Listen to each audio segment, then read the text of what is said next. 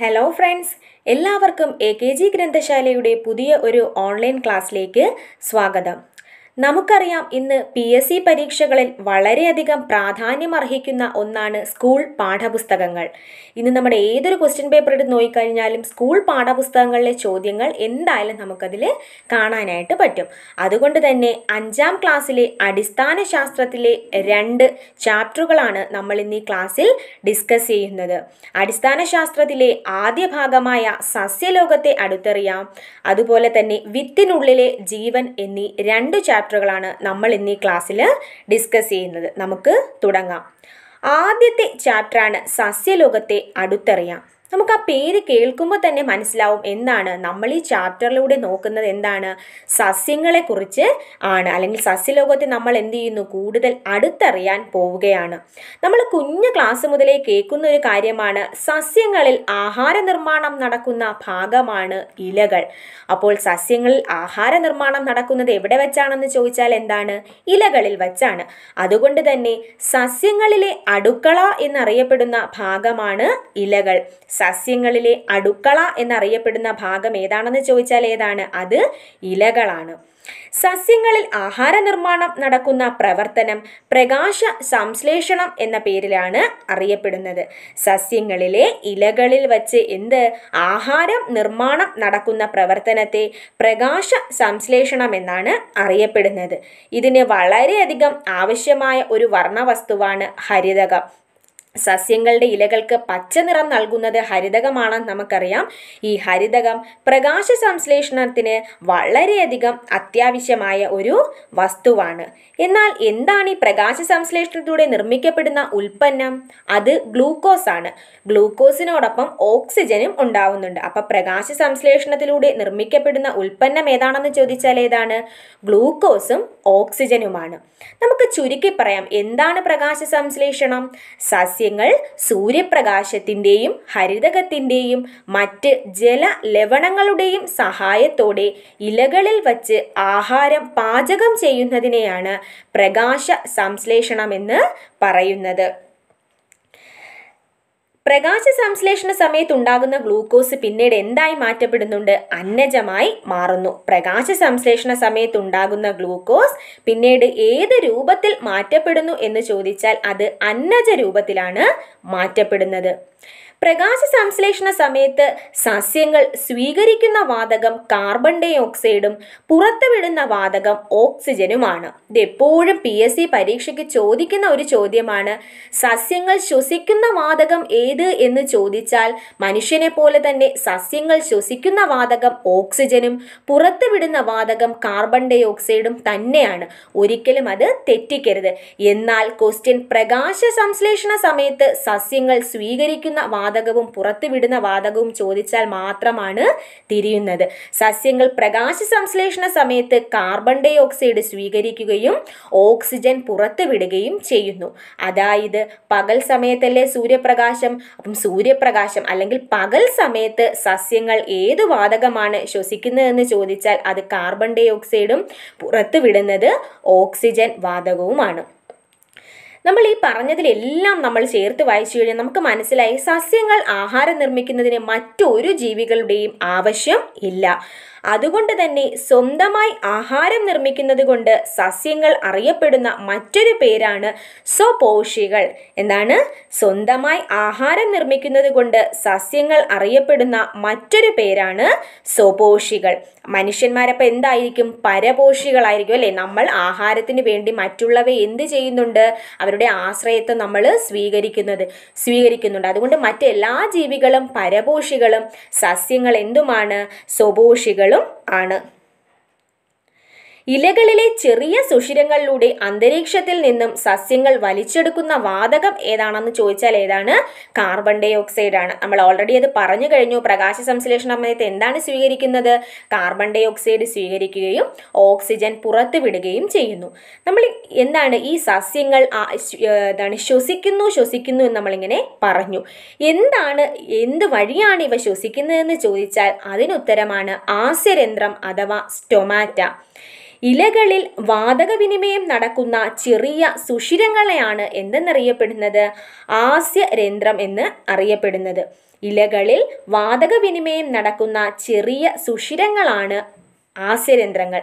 സസ്യങ്ങളിൽ നിന്ന് ജലബാഷ്പം അന്തരീക്ഷത്തിലേക്ക് പോകുന്നതും ഈ സുഷിരങ്ങളിലൂടെയാണ്. അപ്പോൾ വാതക വിനിമയം നടക്കുന്നതും ജലബാഷ്പം അന്തരീക്ഷത്തിലേക്ക് പോകുന്നതും ഏതുവഴി തന്നെയാണ്? ഈ ആസ്യരന്ധ്രങ്ങൾ അല്ലെങ്കിൽ സ്റ്റൊമാറ്റ വഴി ആണ്. നമ്മൾ പറഞ്ഞു കഴിഞ്ഞൊരു പോയിന്റാണ് ഹരിതകം. അതായത് എന്താണ്? പ്രകാശ സംശ്ലേഷണത്തിന് ആവശ്യമായ വർണ വസ്തുവാണ് ഹരിതകം. ഇലകൾക്ക് പച്ച നിറം കൊടുക്കുന്ന വർണവസ്തുവും ഹരിതകമാണ്. എന്നാൽ നമുക്ക് ചുറ്റും നോക്കിക്കഴിഞ്ഞാൽ നമുക്കറിയാം പച്ച നിറത്തിലുള്ള ഇലകൾ മാത്രമല്ല മറ്റ് പല നിറത്തിലുള്ള ഇലകൾ പെട്ടെന്ന് നമ്മുടെ മനസ്സിലേക്ക് ആദ്യം വരുന്ന ഒന്നാണ് എന്ന് പറയുന്നത്? ചീര എന്ന് പറയുന്നത്. അതായത് എന്താണ്? അപ്പോൾ മറ്റ് നിറങ്ങളും ഏതിനുണ്ട്? നമ്മുടെ സസ്യങ്ങൾക്കുണ്ട്. അപ്പോൾ മറ്റ് എന്തൊക്കെയോ വർണ വസ്തുക്കൾ എന്ത് ചെയ്യുന്നുണ്ട്? സസ്യങ്ങൾക്ക് ഈ നിറം കൊടുക്കാനായിട്ട് സഹായിക്കുന്നുണ്ട്. ഹരിതകം കൂടുതലുള്ളത് എവിടെയാണ്? ഇലകളിലാണ്. ഇലകൾക്കും തണ്ടുകൾക്കും പൂക്കൾക്കും പഴങ്ങൾക്കുമൊക്കെ നിറം നൽകുന്ന വർണ വസ്തുക്കളെയാണ് നമ്മൾ എന്തെന്നറിയപ്പെടുന്നത്? വർണകങ്ങൾ. എന്താണ്? ഇലകൾക്കും തണ്ടുകൾക്കും പൂക്കൾക്കും പഴങ്ങൾക്കും നിറം നൽകുന്ന വസ്തുക്കളെയാണ് നമ്മൾ വർണകങ്ങൾ എന്ന് പറയുന്നത്. നമുക്ക് നോക്കാം ഓരോ വർണകവും ഏത് നിറമാണ് കൊടുക്കുന്നതെന്ന്? ആദ്യമായി ചെടികൾക്ക് മഞ്ഞ നിറം കൊടുക്കുന്ന വർണവസ്തുവാണ് സാന്തോഫിൽ. ചെടികൾക്ക് മഞ്ഞ നിറം കൊടുക്കുന്ന വർണവസ്തുവാണ് സാന്തോഫിൽ. എന്നാൽ ഓറഞ്ചും മഞ്ഞയും കലർന്ന നിറം കൊടുക്കുന്ന വസ്തുവാണ് കരോട്ടിൻ. എന്താണ്? ഓറഞ്ചും മഞ്ഞയും നിറന്ന നിറഞ്ഞ കലർന്ന നിറം കൊടുക്കുന്നത് കരോട്ടിനും ചുവപ്പ് നിറം കൊടുക്കുന്നത് ആന്തോ സയാനിനുമാണ് ഇപ്പം നമുക്ക് പിടികിട്ടി ചീരയ്ക്ക് എങ്ങനെയാണ് ചുവന്ന നിറം നൽകുന്നത്? ഏത് വർണവസ്തുവാണ്? ആന്തോ സയാനിൻ എന്ന വർണവസ്തുവാണ് എന്ത് ചെയ്യുന്നത്? ചീരയ്ക്ക് ചുവന്ന നിറം കൊടുക്കുന്നത്. അപ്പം ആ ടോപ്പിക് അത്രയും മനസ്സിലായി. ഇനി നമുക്ക് മറ്റൊന്ന് നോക്കാം. നമ്മളെ ചുറ്റും നമുക്ക് നോക്കുമ്പോൾ നമുക്ക് കാണാം വൃക്ഷങ്ങളിലൊക്കെ എന്ത് ചെയ്യുന്നുണ്ട്? ചില വള്ളിച്ചെടികളൊക്കെ എന്ത് ചെയ്യുന്നുണ്ട്? പടർന്ന് കിടക്കുന്നത് നമുക്ക് കാണാം. ഇവയാണ് എന്തെന്നറിയപ്പെടുന്നത്? എപ്പിഫൈറ്റുകൾ എന്നാണ് അറിയപ്പെടുന്നത്. എന്താണ്? എപ്പിഫൈറ്റുകൾ. വാസസ്ഥലത്തിനായി മാത്രം മറ്റു സസ്യങ്ങളെ ആശ്രയിക്കുന്ന സസ്യങ്ങളെയാണ് നമ്മൾ എപ്പിഫൈറ്റുകൾ എന്ന് അറിയപ്പെടുന്നത്. എന്താണ് എപ്പിഫൈറ്റ് എന്ന് ചോദിച്ചാൽ എന്താണ്? വാസസ്ഥലത്തിനായി മറ്റു സസ്യങ്ങളെ ആശ്രയിക്കുന്ന സസ്യങ്ങളെയാണ് നമ്മൾ എപ്പിഫൈറ്റുകൾ എന്ന് പറയുന്നത്. ഇതുപോലെ തന്നെ മറ്റൊരു ടേമും ഉണ്ട്. അതെന്താണ്? പരാത സസ്യങ്ങൾ. എന്താണ്? പരാത സസ്യങ്ങൾ. ഇലകളും വേരുകളും ഉണ്ടെങ്കിലും ആതിഥേയ സസ്യത്തിൽ നിന്ന് ആതിഥേയ സസ്യം എന്ന് പറഞ്ഞാൽ എന്താണ്? ഏത് ചെടിയിലാണോ അല്ലെങ്കിൽ ഏത് വൃക്ഷത്തിലാണോ ഇവ പറ്റിച്ചേർന്ന് വളരുന്നത്. ആ വൃക്ഷത്തെയാണ് നമ്മൾ എന്തെന്നറിയപ്പെടുന്നത്? ആതിഥേയ വൃക്ഷം അല്ലെങ്കിൽ ആതിഥേയ സസ്യം എന്ന് പറയുന്നത്. അപ്പോൾ ഇലകളും വേരുകളും ഉണ്ടെങ്കിലും ആതിഥേയ സസ്യത്തിൽ നിന്ന് ജലവും ലവണവും വലിച്ചെടുത്ത് ആഹാരം നിർമ്മിക്കുന്നവയാണ് നമ്മൾ പരാത സസ്യങ്ങൾ എന്ന് പറയുന്നത്. എന്താണ്? മറ്റു വൃക്ഷങ്ങൾ എന്താണ്? പടർന്നു കിടന്ന് അത് നിർമ്മിക്കുന്ന എന്താണ്? ജലവും ലവണവും ആഹാരവും ഒക്കെ വലിച്ചെടുക്കുന്നവയാണ് പരാത സസ്യങ്ങൾ എന്ന് അറിയപ്പെടുന്നത്. നമ്മൾ നോർമലി കാണാറുണ്ട് ഏതാണ്? ഇത്തിൽ കണ്ണി മൂടില്ല താളി ഇതെല്ലാം എന്താണ്? പരാത സസ്യങ്ങൾ സസ്യങ്ങൾക്ക് ഉദാഹരണമാണ്. അപ്പം ഈ പരാത സസ്യങ്ങളെ നമുക്ക് രണ്ടായി തിരിക്കാം. എന്തൊക്കെയാണ്? അർദ്ധപരാത സസ്യങ്ങളെന്നും പൂർണപരാത സസ്യങ്ങളെന്നും രണ്ടായി തിരിക്കാം. ആ വേർഡിൽ തന്നെയുണ്ട് അർത്ഥപരാതം അപ്പം എന്തോ എന്താണ്? പകുതിയാണ്. അതായത് എന്താണ്? ആതിഥേയ സസ്യത്തിൽ നിന്ന് ജലവും ലവണവും വലിച്ചെടുത്ത് സ്വന്തമായി ആഹാരം നിർമ്മിക്കുന്നവയാണ് അർത്ഥപരാത സസ്യങ്ങളെന്ന് അറിയപ്പെടുന്നത്. എന്താണ്? ആതിഥേയ സസ്യത്തിൽ നിന്നും ജലവും ലവണവും അതായത് മുഴുവനെ ആഹാരം ഉൾപ്പെടെ ഇവർ വലിച്ചെടുക്കുന്നില്ല ജലവും ലവണവും മാത്രം. അതുകൊണ്ടാണ് അവ എന്തെന്നറിയപ്പെടുന്നത്? അർദ്ധപരാതം ജലവും ലവണവും വലിച്ചെടുത്ത് സ്വന്തമായി ഇവർ എന്ത് ചെയ്യുന്നു? ആഹാരം നിർമ്മിക്കുന്നു. ഇവയാണ് അർത്ഥപരാത സസ്യങ്ങൾ എന്ന് അറിയപ്പെടുന്നത്. അതിന്റെ എക്സാമ്പിളാണ് ഏതെന്ന് പറയുന്നത്? ഇത്തിൽ കണ്ണി. ഇത്തിൽ കണ്ണി എന്താണെന്ന് ചോദിച്ചാൽ ഒരു അർത്ഥപരാത സസ്യമാണ്. ഇനിയപ്പോൾ എന്തായിരിക്കും പൂർണപരാത സസ്യം? നമുക്ക് പറയാം. ഇതാണ് പൂർണമായും അതായത് ആതിഥേയ സസ്യം ഉണ്ടാക്കുന്ന ആഹാരത്തെ അതുപോലെ വലിച്ചെടുക്കുന്നവയാണ് ഏതെന്ന് പറയുന്നത്? പൂർണപരാത സസ്യങ്ങൾ. ആതിഥേയ സസ്യം നിർമ്മിച്ച ആഹാരം നേരിട്ട് വലിച്ചെടുക്കുന്ന സസ്യങ്ങളെയാണ് പൂർണപരാത സസ്യങ്ങൾ എന്ന് അറിയപ്പെടുന്നത്. പൂർണപരാത സസ്യങ്ങൾ ഇപ്പോൾ ആതിഥേയ സസ്യത്തിന് വളരെയധികം എന്ത് ചെയ്യും? ദോഷം ചെയ്യും. അതിനുദാഹരണമാണ് മൂടില്ലാത്താളി. ഈ ഉദാഹരണങ്ങളെല്ലാം ശ്രദ്ധിക്കണം. ഒരുപക്ഷെ ഉദാഹരണം തന്നിട്ട് ഇത് ഏത് കാറ്റഗറിയിൽ പെടുന്നു എന്നായിരിക്കും ചോദ്യം. അപ്പോൾ ഇത്തിൽ കണ്ണി എന്താണെന്ന് ചോദിച്ചാൽ ഒരു അർത്ഥപരാത സസ്യവും മൂടില്ലാ താളി എന്താണെന്ന് ചോദിച്ചാൽ അതൊരു പൂർണ പരാത സസ്യമാണ്. എന്നാൽ മരവാഴ എന്താണെന്ന് ചോദിച്ചാൽ അത് ഒരു ടൈപ്പ് ഒരു ഓർക്കിഡിന്റെ വിഭാഗത്തിൽ വരുന്നതാണ് ഏതെന്ന് പറയുന്ന ഈ മരവാഴ എന്ന് പറയുന്നത്. ഇനി ചില ജീവികളുണ്ട്. അവ എന്താണ് ചെയ്യുന്നത്? ജീർണിച്ച അവശിഷ്ടങ്ങളിൽ നിന്നും പോഷക ഘടകങ്ങളെ ആകിരണം ചെയ്ത് വളരുന്ന ചില ജീവികളുണ്ട്. അവയാണ് എന്തെന്നറിയപ്പെടുന്നത് അവർ ജീർണിച്ച അവശിഷ്ടങ്ങളിൽ നിന്നല്ലേ പോഷകം വലിച്ചെടുക്കുന്നത്? അതുകൊണ്ട് തന്നെ അവ അറിയപ്പെടുന്ന എന്താണ്? ശവോപജീവികൾ എന്നാണ്. എന്താണ്? ശവോപജീവികൾ അഥവാ സാപ്രോഫൈറ്റുകൾ എന്ന് അറിയപ്പെടുന്നു. അപ്പോൾ ജീർണിച്ച അവശിഷ്ടങ്ങളിൽ നിന്ന് പോഷക ഘടകങ്ങൾ ആകിരണം ചെയ്തു വളരുന്ന ജീവികളെയാണ് ശവോപജീവികൾ എന്ന് അറിയപ്പെടുന്നത്. നിയോട്ടിയ മോണോട്രോപ്പ എന്നിവ ശവോപജീവികൾക്ക് ഉദാഹരണമാണ്. ഏതൊക്കെയാണ്? നിയോട്ടിയ മോണോട്രോപ്പ നിയോട്ടിയ മോണോട്രോപ്പ ഇത് രണ്ടും ശവോപജീവികൾക്ക് ഉദാഹരണമാണ്. നമ്മളെ എന്താ എന്താണ് നമ്മൾ ഈ ബ്രെഡ് നമ്മൾ ഈ ബ്രെഡിലും അച്ചാറിലും ഒക്കെ നമ്മൾ നമ്മളെല്ലാവരും കണ്ടിട്ടുള്ളതാണ്. അതിലൊക്കെ എന്താണ്? ഒരു തരം പൂപ്പൽ ഇങ്ങനെ നിൽക്കുന്ന അച്ചാറൊക്കെ നമ്മൾ ഉണ്ടാക്കിയിട്ട് കുറച്ച് ദിവസം കഴിഞ്ഞ് തുറന്നു നോക്കുമ്പോൾ നമുക്ക് കാണാം. ഒരു പൂപ്പൽ അതിന്റെ നമുക്ക് കാണാം. അല്ലെങ്കിൽ ബ്രെഡൊക്കെ കുറച്ച് ദിവസം പാഴിപ്പോയി കഴിഞ്ഞാൽ നമുക്ക് കാണാം. അതൊക്കെ ആ കാണുന്ന പൂപ്പലുമൊക്കെ എന്തിന് ഉദാഹരണമാണ്? ഒരു ശവോപജീവിക്ക് ഉദാഹരണമാണ്. എന്നാൽ നമ്മളെ കൂണുകളില്ലേ? കൂണുകൾ ഏത് വിഭാഗത്തിൽ പെടുന്നവയാണെന്ന് വെച്ചാൽ അവയും ഏതാണ്? പൂപ്പൽ വിഭാഗത്തിൽ പെടുന്നവയാണ് എന്ന് പറയുന്നത് ഈ കൂണുകളെന്ന് പറയുന്നത്. അപ്പോൾ ഇത്രയും ടോപ്പിക്ക് മനസ്സിലായല്ലോ. അപ്പോൾ എന്താണ് പ്രകാശ സംശ്ലേഷണം? പ്രകാശ സംശ്ലേഷണത്തെ സഹായിക്കുന്ന വർണ വസ്തുക്കൾ ഏതൊക്കെ? പിന്നെ അവ സ്വീകരിക്കുകയും പുറത്തുവിടുകയും ചെയ്യുന്ന വാതകം എന്ത്? അതുപോലെ തന്നെ അർത്ഥപരാത സസ്യങ്ങൾ എന്ത്? പൂർണപരാത സസ്യങ്ങൾ എന്ത്? ശവോപജീവികൾ എന്ത്? ഇതെല്ലാം എക്സാമ്പിൾ ഉൾപ്പെടെ നമ്മൾ പഠിച്ചു വെച്ചിരിക്കണം. കാരണം ഇത് എസ് സി ആർ ടി ടെക്സ്റ്റിലുള്ള സെന്റൻസുകളും എക്സാമ്പിളും നിങ്ങൾക്ക് അതുപോലെയാണ് തരുന്നത്. ഇതേപോലെ തന്നെ എടുത്ത് തന്നെയാണ് ഇപ്പോൾ ക്വസ്റ്റ്യൻ പേപ്പറുകളിലും ആവർത്തിക്കുന്നത്. അപ്പോൾ കറക്റ്റായിട്ട് എക്സാമ്പിളുകളൊക്കെ പഠിച്ചു വെക്കുക. ഇനി നമുക്ക് നോക്കാം എന്താണ് ആരോഹികൾ അഥവാ ക്ലൈംബേഴ്സ് ആ ക്ലൈംബേഴ്സ് എന്ന് കേൾക്കുമ്പോൾ നമുക്ക് എല്ലാവർക്കും പേടിയുണ്ട്. പക്ഷെ ആരോഹികൾ എന്ന വേർഡ് തന്നെ മലയാളം വേർഡ് തന്നെ എന്ത് ചെയ്യുക? ഓർത്ത് വയ്ക്കുക എന്തായിരിക്കും ക്ലൈംബേഴ്സ് അഥവാ ആരോഹികൾ? അതെ മറ്റ് ചെടികൾ പടന്നു കയറുന്ന ദുർബല കാണ്ഡമുള്ള സസ്യങ്ങളെയാണ് നമ്മൾ ആരോഹികൾ എന്ന് പറയുന്നത്. എന്താണ്? മറ്റു ചെടികൾ പടന്നു കയറുന്ന ദുർബല കാണ്ഡമുള്ള സസ്യങ്ങൾ. അപ്പോൾ ഏതൊക്കെയാണ്? നമ്മുടെ കുരുമുളക് പാവൽ പടവലം എല്ലാം ഏതിന് ഉദാഹരണമാണ്? ആരോഹികൾക്ക് ഉദാഹരണമാണ്. അല്ലേ? അവയൊക്കെ ദുർബല കാണ്ടല്ലേ നമ്മളൊന്ന് വലിച്ചാൽ തന്നെ അതെല്ലാം പൊട്ടിപ്പോവില്ലേ? അപ്പോൾ ദുർബല കാണ്ടമുള്ള മറ്റു ചെടികളിൽ എന്ത് ചെയ്യുന്നത്? പടർന്ന് കയറുന്നത്. അല്ലെങ്കിൽ നമ്മളൊക്കെ ഒരു പന്തലിട്ട് കൊടുത്ത് ഇതെല്ലാം ഇങ്ങനെ അതിൽ തന്നെ പിടിച്ച് വളർന്ന് കയറില്ലേ? അങ്ങനെയുള്ളവയാണ് എന്തെന്നറിയപ്പെടുന്നത്? ആരോഹികളെന്ന് അറിയപ്പെടുന്നത്.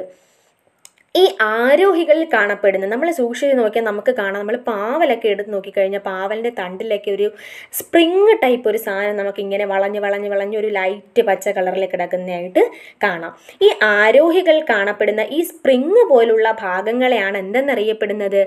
പ്രധാനങ്ങൾ. എന്താണ്? പ്രധാനങ്ങൾ എന്ന് അറിയപ്പെടുന്നത്. അല്ല അഥവാ ഇംഗ്ലീഷിൽ നമുക്ക് ടെൻഡ്രിൽസ് എന്ന് പറയാം. പ്രധാനങ്ങൾ. ആക്ച്വലി ഈ പ്രധാനങ്ങളാണ് എന്ത് ചെയ്യുന്നത്? ഇതിനെ മറ്റു ചെടികളിൽ ഇങ്ങനെ പറ്റിപ്പിടിച്ചു കയറാൻ അല്ലെങ്കിൽ പടർന്നു കയറാനായിട്ട് സഹായിക്കുന്ന ഈ സ്പ്രിങ്ങുകളാണ് ഇവ എന്ത് ചെയ്യുന്നത്? ഈ ആരോഹികളെ സഹായിക്കുന്നത്. അപ്പം ആരോഹികൾക്ക് മറ്റ് ചെടികളിൽ പടർന്നു കയറാൻ സഹായിക്കുന്ന അതിന്റെ ഭാഗം ഏതെന്ന് ചോദിച്ചാൽ ഏതാണ്? പ്രധാനങ്ങളാണ്. എന്താണ്? പ്രധാനങ്ങൾ. ഇനി എന്താണ് ഇഴവള്ളികൾ? നിലത്ത് പടർന്നു വളരുന്ന ദുർബല കാണ്ഡമുള്ള സസ്യങ്ങളെയാണ് നമ്മൾ എന്തെന്നറിയപ്പെടുന്നത്? ഇഴവള്ളികളെന്ന് അറിയപ്പെടുന്നത്. എന്താണ്? നിലത്ത് പടർന്നു വളരുന്ന ദുർബല കാണ്ഡമുള്ള സസ്യങ്ങളെയാണ് എന്തെന്നറിയപ്പെടുന്നത്? ഇഴവള്ളികൾ. ഇവക്ക് എന്തില്ല? പ്രധാനങ്ങളില്ല. നമ്മൾ പറഞ്ഞു പ്രധാനങ്ങളുള്ളതാണ് ഈ പാവൽ പോലുള്ള സസ്യങ്ങളിലാണ് നമ്മൾ എന്ത് പ്രധാനങ്ങൾ. കാരണം അവയാണ് എന്ത് ചെയ്യുന്നത്? ചുറ്റിപ്പിടിച്ച് ചുറ്റിപ്പിടിച്ച് വളർന്ന് മേലോട്ട് പോകുന്നത്. എന്നാൽ ഇഴവള്ളികൾ മേലോട്ട് മേലോട്ട് വളർന്നു പോകൂ ഇല്ല. അത് മണ്ണിൽ തന്നെ എന്ത് ചെയ്യുന്നു? ഇങ്ങനെ നമ്മുടെ മധുരക്കിഴങ്ങ് കൊടങ്ങൽ സ്ട്രോബെറി അതൊക്കെയാണ് ഏതിന് ഉദാഹരണം? ഇഴവള്ളികൾക്ക് ഉദാഹരണം. അവ ഇങ്ങനെ മണ്ണിൽ തന്നെ എന്ത് ചെയ്യുന്നു? പടന്ന് പടന്ന് കിടക്കുന്നു. അതുകൊണ്ട് പ്രധാനങ്ങളൊന്നും ഏതിൽ കാണത്തില്ല? ഇഴവള്ളികളിൽ കാണില്ല. ഇനി മറ്റ് വളരെ ഇമ്പോർട്ടന്റ് ആയിട്ടുള്ള രണ്ട് ടേംസ് ആണ്. താങ്ങുവേരുകളും പൊയ്ക്കാൽ വേരുകളും. എന്തൊക്കെയാണ്? താങ്ങുവേരുകളും പൊയ്ക്കാൽ വേരുകളും.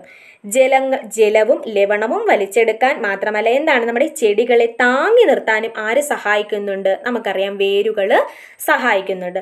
പ്രകാശ സംശ്ലേഷണ സമയത്ത് ജലവും ലവണവും വലിച്ചെടുക്കുന്നതും ആരാണ്? മണ്ണിനടിയിൽ നിന്നും ഈ വേരുകളാണ്. അപ്പോൾ അത് മാത്രമല്ല അതിന്റെ മറ്റൊരു ഫംഗ്ഷൻ ഏതാണെന്ന് ചോദിച്ചാൽ എന്താണ്? താങ്ങി നിർത്തുന്നു. അല്ലേ? നമ്മുടെ ചെടികളിനെ എന്താണ്? താങ്ങി നിർത്താനും ഈ വേരുകൾ സഹായിക്കുന്നു. അങ്ങനെയുള്ള വേരുകളെയാണ് നമ്മൾ രണ്ടായിട്ട് ക്ലാസിഫൈ ചെയ്തേക്കുന്നു. ഏതാണ്? താങ്ങുവേരുകളെന്നും പൊയ്ക്കാൽ വേരുകളെന്നും. ഏതാണ്? താങ്ങുവേരുകളും പൊയ്ക്കാൽ വേരുകളും. എന്താണ് ഇവ തമ്മിലുള്ള വ്യത്യാസമെന്ന് ചോദിച്ചാൽ ശിഖരങ്ങളിൽ നിന്നും താഴേക്ക് വളരുന്ന വേരുകളാണ് താങ്ങുവേരുകൾ എന്താണ്? ശിഖരങ്ങളിൽ നിന്നും താഴേക്ക് വളരുന്ന വേരുകളെയാണ് താങ്ങുവേരുകൾ എന്ന് അറിയപ്പെടുന്നത്. എന്നാൽ തണ്ടിൽ നിന്നും താഴേക്ക് വളരുന്നവയാണ് പൊയ്ക്കാൽ വേരുകൾ എന്താണ്? തണ്ടിൽ നിന്നും താഴേക്ക് വളരുന്നവ പൊയ്ക്കാൽ വേരുകൾ അപ്പം മെയിനായിട്ട് രണ്ട് ടോപ്പ് പോയിന്റ് ശിഖരത്തിൽ നിന്നും താഴേക്കാണെങ്കിൽ താങ്ങുവേരും തണ്ടിൽ നിന്നും താഴേക്കാണെങ്കിൽ പൊയ്ക്കാൽ വേരും ഏറ്റവും ഇമ്പോർട്ടന്റ് അതിന്റെ എക്സാമ്പിളാണ് താങ്ങുവേരുകൾക്ക് ഉദാഹരണമാണ് പേരാൽ. നമ്മൾ കണ്ടിട്ടില്ലേ ആൽമരത്തിന്റെ ശിഖരത്തിൽ നിന്നും താഴേക്ക് വേരുകൾ കിടക്കുന്നത്? അപ്പോൾ പേരാലാണ് താങ്ങുവേരിന് ഉദാഹരണം. എന്നാൽ ആറ്റുകൈതയാണ് പൊയ്ക്കാൽ വേരിന് ഉദാഹരണം. ഈ എക്സാമ്പിൾ അതുപോലെ പഠിച്ച് വച്ചേക്കണം. എന്താണ്? പേരാൽ താങ്ങുവേരിനും ആറ്റുകൈത പൊയ്ക്കാൽ വേരിനുമാണ് ഉദാഹരണം. ഇനി നമ്മൾ കേട്ടിട്ടുള്ള ഒരു സാധനമാണ് എന്ന് പറഞ്ഞാൽ കണ്ടൽ ചെടികൾ അല്ലെ? കണ്ടൽ കാടുകൾ നമുക്കറിയാം കേരളത്തിലെ ഏറ്റവും കൂടുതൽ കണ്ടൽ കാടുകളുള്ള ജില്ല കണ്ണൂർ ജില്ലയാണ്. എന്താണ്? ഈ ചതുപ്പ് നിലങ്ങളിലൊക്കെ വളരുന്ന ഒരു പ്രത്യേക സസ്യങ്ങളെയാണ് ഈ കണ്ടൽ ചെടികളെന്ന് പറയുന്നത്. അപ്പോൾ ഈ കണ്ടൽ ചെടികളിൽ കാണപ്പെടുന്ന ഒരു പ്രത്യേക തരം വേരുകളാണ് ഈ ശ്വസന വേരുകൾ എന്ന് പറയുന്നത്. എന്താണ്? ശ്വസന വേരുകൾ. കണ്ടൽ ചെടിയുടെ ഈ വേരിന്റെ അറ്റം എന്ന് നമുക്ക് നോക്കിക്കഴിഞ്ഞാൽ നമുക്ക് കാണാം. എന്താണ്? ഈ അന്തരീക്ഷത്തിലേക്കാണ് അത് എന്ത് ചെയ്യുന്നത്? ഇങ്ങനെ വളർന്നു നിൽക്കുന്നത്. അപ്പം ഈ വാതക വിനിമയത്തിനാരാണ് ഈ കണ്ടൽ ചെടികളെ സഹായിക്കുന്നത്? ഈ വേരുകൾ അതായത് അന്തരീക്ഷത്തിലേക്ക് ഇങ്ങനെ ഓപ്പൺ ആയിട്ട് നിൽക്കുന്ന കണ്ടൽ ചെടിയിലെ വേരുകളാണ് അവയെ എന്ത് ചെയ്യുന്നത്? ശ്വാസോച്ഛ്വാസത്തിന് സഹായിക്കുന്നത്. അതിൽ നിന്ന് തന്നെ അവ എന്തെന്നറിയപ്പെടുന്നു? അതുകൊണ്ട് തന്നെ ഉയർന്നു നിൽക്കുന്ന കണ്ടൽ ചെടിയിൽ കാണപ്പെടുന്ന വേരുകളെ ശ്വസന വേരുകൾ എന്നാണ് അറിയപ്പെടുന്നത്. എന്താണ്? ശ്വസന വേരുകൾ. അപ്പൊ ശ്വസന വേരുകൾ കാണപ്പെടുന്നത് താഴെ പട പറയുന്നവയിൽ ഏത് ചെടിയിലാണെന്ന് ചോദിച്ചിട്ട് നമുക്ക് വേണമെങ്കിൽ ആറ്റുകൈതയും പേരാലും കണ്ടൽ ചെടിയും ഏതെങ്കിലും ഒരു എക്സാമ്പിളും കൂടെ കാ തരാം. അപ്പോൾ നമ്മൾ എന്ത് ചെയ്യണം? ശ്വസന വേരുകൾ ആരിലാണ് കാണപ്പെടുന്നത്? കണ്ടൽ ചെടികളിലാണ് ഏത് കാണപ്പെടുന്നത്? ശ്വസന വേരുകൾ കാണപ്പെടുന്നത്. ഇനി നമുക്ക് വേറൊരു കാര്യം നോക്കാം. എല്ലാം നമ്മൾ കേട്ടിട്ടുള്ളത് നമ്മൾ കാണുന്നതുമായ സംഭവങ്ങൾ തന്നെയാണ്. പക്ഷെ നമ്മൾ അതിന്റെ പ്രോപ്പറായിട്ടുള്ള എക്സാമ്പിളുകളും പ്രോപ്പറായിട്ട് നമ്മൾ അതിന്റെ മലയാള വേർഡ്സും ഒക്കെ നമ്മൾ അറിഞ്ഞിരിക്കണം. ഇനി ഒന്നാണ് എന്തെന്ന് സംഭരണ വേരുകൾ അഥവാ സ്റ്റോറേജ് റൂട്ടുകൾ എന്താണ്? സംഭരണ വേരുകൾ. വേരിൽ ആഹാരം സംഭരിച്ചു വയ്ക്കുന്ന വേരുകളാണ് ഏത്? സംഭരണ വേരുകൾ. ഉദാഹരണം ഏത്? നമ്മൾ സ്ഥിരം കാണുന്ന മരച്ചീനി. വേരിൽ ആഹാരം സംഭരിച്ചു വയ്ക്കുന്ന വേരുകളെയാണ് സംഭരണ വേരുകൾ എന്ന് അറിയപ്പെടുന്നത്. എന്നാൽ ഇതുപോലുള്ള മറ്റൊരു സാധനമാണ് ഭൂകാണ്ഡം എന്ന് പറയുന്നത്. എന്താണ്? ഭൂകാണ്ഡം.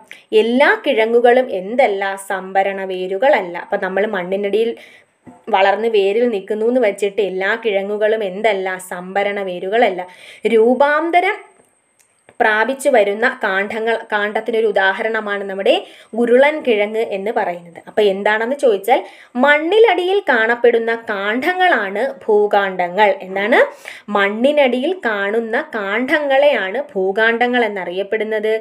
എന്നാൽ ആഹാരം വേരിൽ സംഭരിച്ചു വയ്ക്കുന്നവയാണ് സംഭരണ വേര്. ഇതിന്റെയും എക്സാമ്പിൾ ശ്രദ്ധിക്കുക. സംഭരണ വേരിന് ഉദാഹരണമാണ് മരച്ചീനി. എന്നാൽ ഭൂകാണ്ഡത്തിന് ഉദാഹരണമാണ് ഉരുളൻ കിഴങ്ങ്. ഭൂകാണ്ഡത്തിന് ഉദാഹരണം ഏതാണ്? ഉരുളൻ കിഴങ്ങും സംഭരണ വേരിന് ഉദാഹരണം മരച്ചീനിയുമാണ്. അപ്പോൾ ഓരോ ടേമും അതിന്റെ മലയാളം ടേമും അതിന്റെ എക്സാമ്പിളും വളരെ ഇമ്പോർട്ടന്റ് ആയിട്ട് എന്ത് ചെയ്യുക? ഈ ചാപ്റ്ററിൽ പഠിച്ചു വച്ചേക്കുക.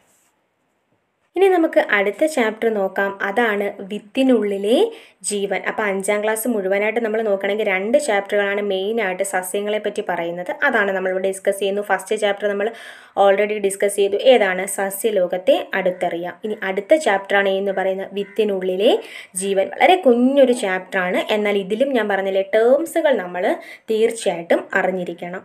നമുക്കറിയാം ഒരു വിത്ത് അല്ലെങ്കിൽ നമ്മളെല്ലാവരും ഒരു ചെടി നട്ടിട്ടുള്ളവരാണ് അല്ലേ അപ്പോൾ ഒരു വിത്ത് മുളയ്ക്കുന്നതിന് എന്തൊക്കെ ഘടകങ്ങളാണ് ആവശ്യം? അതെ വായു ആവശ്യമാണ് ജലം ആവശ്യമാണ് അനുകൂലമായ താപനില ആവശ്യമാണ് സൂര്യപ്രകാശം മണ്ണ് ഇതെല്ലാം എന്തിനെ ആശ്രയിക്കുന്നു? ഒരു വിത്ത് ഒരു ചെടിയായി വളർന്നു വരണമെങ്കിൽ അതിനെ ആശ്രയിക്കുന്നു. നമുക്ക് എല്ലാവർക്കും അറിയാം. ഇനി അതിൽ നമുക്ക് ഒന്ന് രണ്ട് ടേംസ് ആണ് നോക്കേണ്ടത്. എന്താണതെന്ന് നോക്കാം നമുക്ക്. ആദ്യമാണ് എന്താന്ന് പറഞ്ഞാൽ ബീജാങ്കുരണം അഥവാ ജെർമിനേഷൻ ഓഫ് എ സീഡ് എന്ന് പറയുന്ന ഒരു ടേം എന്താണ്? ബീജാങ്കുരണം. എന്താണത്? അനുകൂല സാഹചര്യത്തിൽ വിത്തിനകത്തുള്ള ഭ്രൂണം തൈച്ചെടിയായി വളർന്നു വരുന്ന പ്രവർത്തനമാണ് വിത്തുമുളയ്ക്കൽ. എന്താണ്? വിത്തുമുളയ്ക്കൽ. എന്താണ്? ആ വിത്തുമുളയ്ക്കലിന്റെ മറ്റൊരു ടേമാണ് നമ്മളൊരു വളരെ സ്റ്റാൻഡേർഡായിട്ട് പറയുന്ന ടേമാണ് എന്ന് പറയുന്നത് ബീജാങ്കുരണം എന്ന് പറയുന്നത്. എന്താണ്? അനുകൂല സാഹചര്യത്തിൽ വിത്തിനകത്തുള്ള ഭ്രൂണം തൈ ചെടിയായി വളരുന്ന പ്രവർത്തനമാണ് വിത്ത് മുളയ്ക്കൽ അഥവാ ബീജാങ്കുരണം. ഇനി രണ്ട് പാർട്ടാണ് നമുക്ക് നോക്കുന്നത്. എന്തൊക്കെയാണ് ബീജ ശീർഷമെന്നും ബീജ മൂലമെന്ന് നമുക്ക് നോക്കാം. ഭ്രൂണത്തിൽ നിന്ന് മുകളിലേക്ക് വളരുന്ന ഭാഗത്തെയാണ് നമ്മൾ എന്തെന്നറിയപ്പെടുന്നത്? ഈ ബീജ ശീർഷമെന്ന് അറിയപ്പെടുന്നത്. എന്താണ്? ഭ്രൂണത്തിൽ നിന്നും മുകളിലേക്ക് വളരുന്ന ഭാഗം. ഈ ബീജ ശീർഷമാണ് പിന്നെ എന്തായി മാറുന്നത്? കാണ്ഡമായി മാറുന്നത്. ആ പോയിന്റ് ശ്രദ്ധിക്കണം. ചെടിക്കിലെ ഏതു ഭാഗമാണ് പിന്നീട് കാണ്ഡം അഥവാ തണ്ടായി മാറുന്നത് എന്ന് ചോദിച്ചാൽ ഏതാണ്? ബീജ ശീർഷം എന്നാൽ വിത്ത് മുളയ്ക്കുമ്പോൾ ആദ്യം പുറത്തു വരുന്ന ഭാഗം എന്ന് ചോദിച്ചാൽ അത് ബീജമൂലമാണ്. ഏതാണ്? ബീജമൂലം. വിത്ത് മുളയ്ക്കുമ്പോൾ ആദ്യം പുറത്തു വരുന്ന ഭാഗം ബീജമൂലം. ആ ബീജമൂലം പിന്നീട് വേരായിട്ടാണ് വളർന്നു മാറുന്നത്. അപ്പോൾ വളരെ ഇമ്പോർട്ടന്റ് ആയിട്ടുള്ള രണ്ട് ടേംസ് ടേംസാണ് നമ്മളിവിടെ കണ്ടത്. ഏതൊക്കെയാണ്? ബീജശീർഷവും ബീജമൂലവും. ഒരു വിത്ത് മുളയ്ക്കുമ്പോൾ ആദ്യം പുറത്തു വരുന്ന ഭാഗം ബീജമൂലം. ഏതു ഭാഗമാണ് പിന്നീട് വേരായി മാറുന്നത് എന്ന് ചോദിച്ചാൽ അത് ഈ ബീജമൂലമാണ് എന്ത് ചെയ്യുന്നത്? പിന്നീട് വേരായി വളരുന്നത്.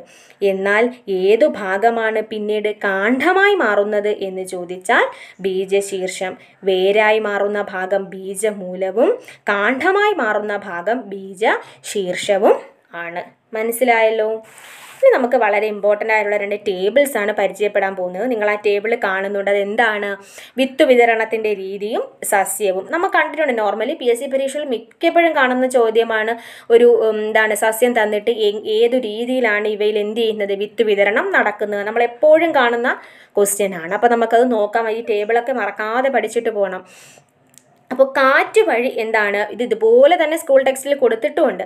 കാറ്റ് വഴി വിത്ത് വിതരണം നടത്തുന്നത് ആരൊക്കെയാണ്? അപ്പുപ്പൻ താടിയും മഹാഗണിയുമാണ്. കാറ്റ് വഴി വിത്ത് വിതരണം നടത്തുന്നതാണ് അപ്പുപ്പൻ താടിയും മഹാഗണിയും. എന്നാൽ ജലം വഴി വിത്ത് വിതരണം നടത്തുന്നത് തെങ്ങ്. എന്താണ്? ജലം വഴി വിത്ത് വിതരണം നടത്തുന്നതാണ് തെങ്ങ്. ജന്തുക്കൾ വഴിയാണെങ്കിൽ ആൽമരം പ്ലാവ് പേര അസ്ത്രപ്പുല്ല് ഇതെല്ലാം ജന്തുക്കൾ വഴി വിത്ത് വിതരണം നടത്തുന്നവയാണ്. ഇനി പൊട്ടിത്തെറിച്ച് വിത്ത് വിതരണം നടത്തുന്ന ഏതൊക്കെയാണ്? വെണ്ടയും കാശിത്തുമ്പയും ഒക്കെ പൊട്ടിത്തെറിച്ച് എന്താണ് വിത്ത് വിതരണം നടത്തുന്നതാണ്.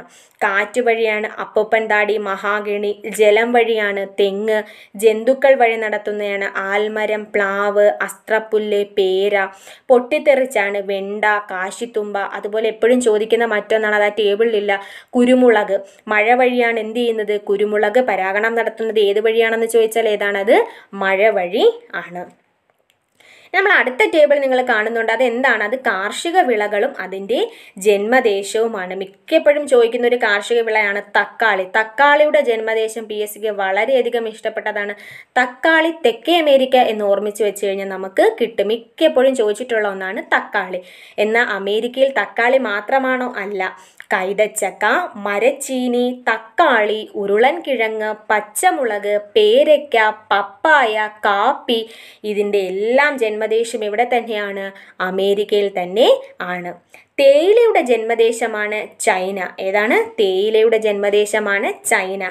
ഇന്ത്യയിൽ എവിടെയാണ് ഏറ്റവും കൂടുതൽ തേയില? ആസാമിലാണ്. അല്ലെ? ടീ സ്റ്റേറ്റ് എന്നറിയപ്പെടുന്നത് തന്നെ ഏതിനെയാണ്? ആസാമിനെയാണ്. ക്യാബേജിന്റെ ജന്മദേശമാണ് യൂറോപ്പ്. ഏതാണ്? ക്യാബേജിന്റെ ജന്മദേശം യൂറോപ്പ്. എന്നാൽ റബ്ബർ നമുക്കറിയാം കേരളത്തിൽ നിന്ന് ഏറ്റവും കൂടുതലുള്ളതാണ് റബ്ബർ. എന്നാൽ റബ്ബറിന്റെ ജന്മദേശം ഇന്ത്യയാണോ? അല്ല റബ്ബറിന്റെയും കശുമാവിന്റെയും ജന്മദേശം ബ്രസീലാണ്. എന്താണ്? റബ്ബറിന്റെയും കശുമാവിന്റെയും ജന്മദേശമാണ് ഏതെന്ന് പറയുന്നത്? ബ്രസീൽ എന്ന് പറയുന്നത്. അപ്പോൾ ഈ ടേബിൾ നന്നായിട്ട് പഠിക്കുക. അപ്പോൾ ഈ രണ്ട് ചാപ്റ്ററുകളുമാണ് അഞ്ചാം ക്ലാസ്സിൽ സസ്യഭാഗങ്ങളെക്കുറിച്ച് പറയുന്നത്. അപ്പോൾ ടെക്സ്റ്റിലുള്ള മുഴുവൻ കാര്യങ്ങൾ ഈ ക്ലാസ്സിൽ ഉൾപ്പെടുത്താൻ ശ്രമിച്ചിട്ടുണ്ട്. മറ്റൊരു എസ് സി ആർ ടി ചാപ്റ്ററുമായിട്ട് നമുക്ക് അടുത്ത ക്ലാസ്സിൽ കാണാം. അതുവരെ നന്ദി.